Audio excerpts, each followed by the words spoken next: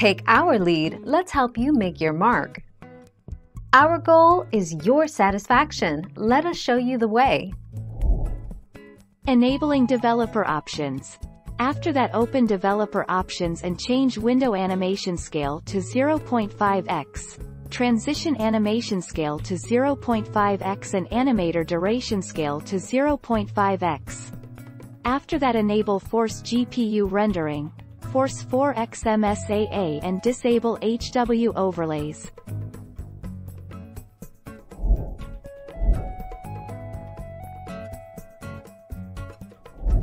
Make your mark, take our lead.